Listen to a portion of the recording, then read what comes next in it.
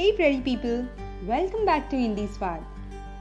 Today I'm here with two simple yet mouth-watering instant snack recipes that my mom prepares with the leftover rice from the afternoon lunch.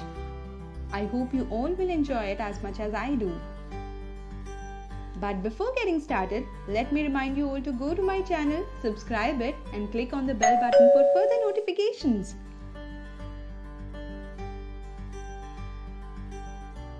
The first recipe is of some crunchy fritters which requires around 300 grams of cooked rice, half tablespoon of red chili powder, some salt to taste,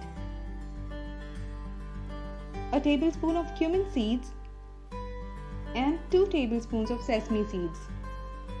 You have to mix all these together. Sesame seeds give a nice crunch and flavor to the fritters. If you aren't a fan of these, you can exclude them or include them in smaller quantities. Once I'm done mixing it thoroughly, I'm going to transfer this mixture into a mixer jar and grind this into a coarse paste. By the way guys, do provide me with a better name for this recipe if you have one so that I might as well use it for the title. Now our coarse paste is ready and it's good to have this grainy texture similar to the one you see here. To make these fritters, I am using a Murukku maker, the link for which has been provided in the description box below. So this comes with various discs with various shapes on them. I am going to use a disc with 3 stars on it. So here you can see me fixing the disc at the base and then fitting the mold onto it. Now I'll moist my hands with some water to avoid the rice from sticking onto my hand. Take some rice paste, make it into a round ball. Then I'll fill the mold with the rice paste.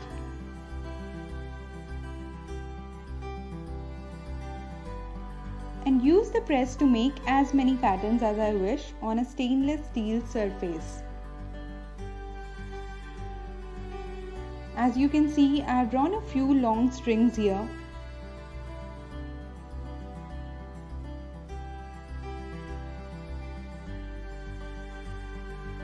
And then here are some spirals also, similar to the store-bought ones. Now I'm gonna allow them to dry in the sunlight for around 2 days. Here these have dried completely. They aren't soft anymore and are crisp. These could be stored in an airtight container for up to a month.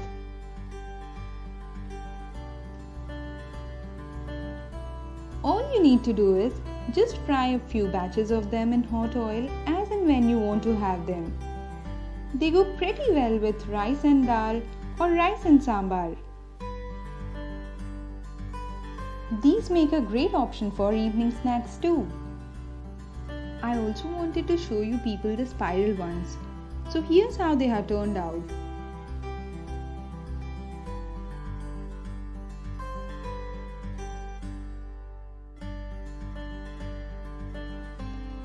So guys, isn't this a great way to transform a simple cooked rice meal into a crisp and crunchy snack? Do let me know what you think of it in the comment section.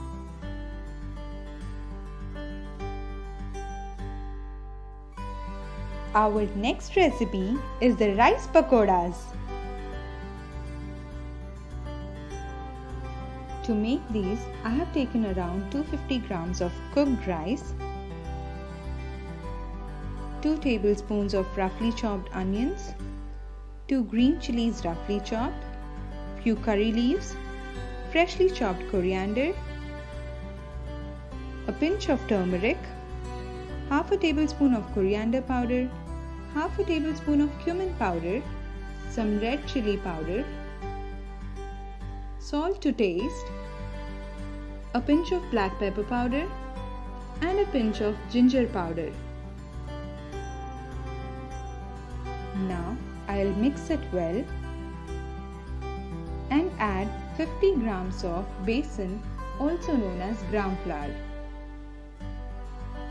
I'll use my hands to mix this well while adding small amounts of water. I believe it's important to feel the texture of the batter to get the consistency right.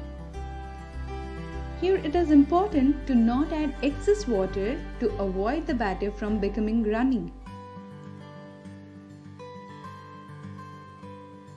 You know the consistency is right when you are able to make soft balls out of the mixture.